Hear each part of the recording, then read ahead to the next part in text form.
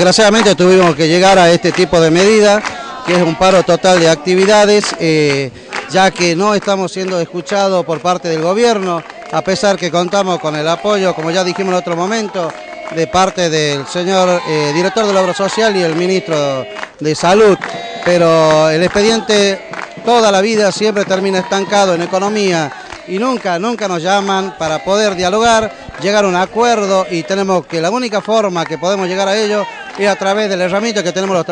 los trabajadores, que es a través de la medida de fuerza. Ahora, ¿cómo se va a decidir los pasos a seguir? ¿Cómo se va a tomar decisión? Bueno, esto en, en, unas horas más vamos a tomar, este, vamos a hacer una asamblea eh, estamos esperando que venga la gente de la calle Junín para que hagamos una asamblea total para ver cuáles son los pasos a seguir si es que este, el gobierno no se está comunicando con nosotros.